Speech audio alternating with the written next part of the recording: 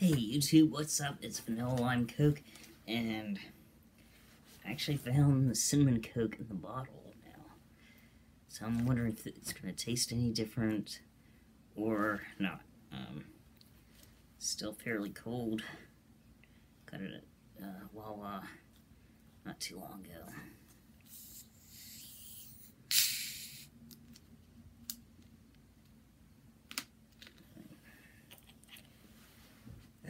Carbon, all this carbonation. I don't know if I can do much more carbonation anymore.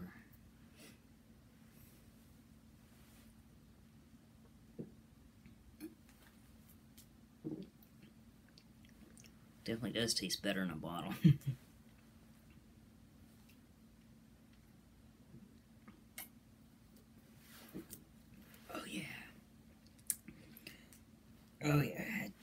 definitely does taste a lot better. In, I wouldn't say a lot better, but definitely better in the bottle. Um,